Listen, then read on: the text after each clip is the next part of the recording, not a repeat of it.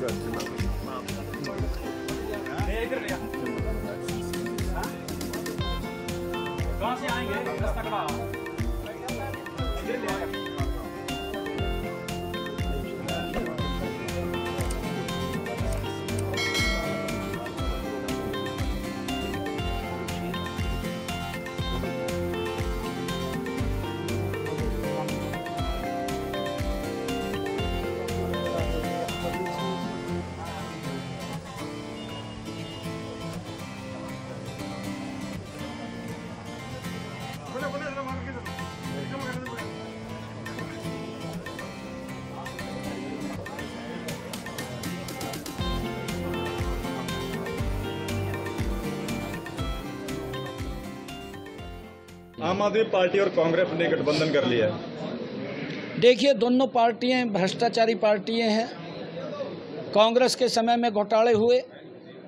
आम आदमी इस बात को लेकर के सत्ता में आई थी कि मैं कट्टर ईमानदार हूँ। और ये भी इस बात को लेकर के उन्होंने मंचों को ऊपर लोगों को आश्वस्त किया था कि मैं बच्चों की कसम खाता हूँ, मैं कभी भी ऐसी भ्रष्टाचारी पार्टी से समझौता नहीं करूँगा। क्योंकि ये भ्रष्टाचार की दलदल में कांग्रेस फंसी हुई है। परंतु दुर्भाग्य है, एक भ्रष्टाचारी दूसरे भ्रष्टाचारी को गले मिलाता है और आकर के दोनों के दो मिल जाते हैं। उनका हेतु हरियाणा प्रदेश के लोगों का विकास करना नहीं, उनका हेतु कि भ्रष्टाचार करके अपने आप का विकास करना है और उससे आज उनका जो चेहरा है, जो नकाब है, वो हरियाणा के लोगों के सामने वो आ चुका है।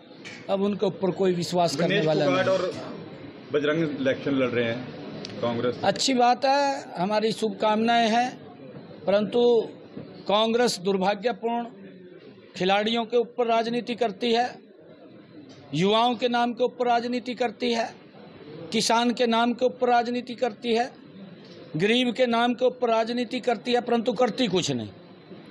किया कुछ नहीं। परंतु राजनीति उनके नाम के ऊपर, उनका शोषण करने का काम किया है। उनके नाम से राजनीति तो ज़रूर की है। उनके हित में कोई कदम कांग्रेस ने नहीं उठाया।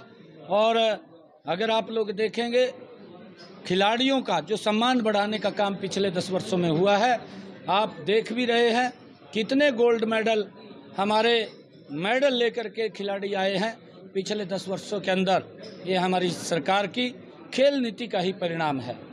चाहे गरीब को सशक्त करने का काम है युवाओं को बिना पर्ची बिना खर्ची के रोज़गार देने की बात है नारी को सशक्त करने का काम हमारी सरकार ने पिछले दस वर्षों में किया। कर्णदेव कंबोज ने रिजाइन कर दिया और, और किसी ने कोई रिजाइन नहीं किया। हमारे बहुत सीनियर कार्यकर्ता है।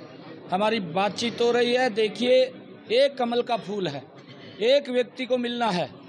और पार्टी का निर्णय सर्वोपरि होता है। आदरणीय कर्णदेव कम्बोज जी से बातचीत करके क्योंकि हमने हरियाणा के अंदर तीसरी बार सरकार बनानी है और कर्णदेव जी इस जीत के प्रमुख कर्णधार होंगे और मजबूती से उसके अंदर लगेंगे।